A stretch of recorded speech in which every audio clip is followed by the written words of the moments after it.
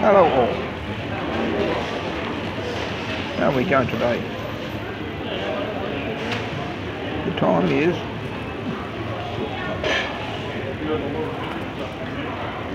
thirteen thirty-two on Sunday,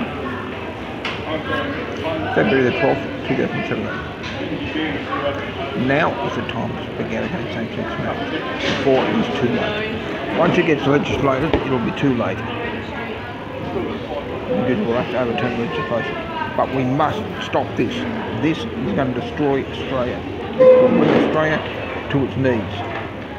And that's what we might need. Before God. God's wrath will come upon anyone who gets involved in this situation. And that Rod Swift, who is attacking me, is a liar.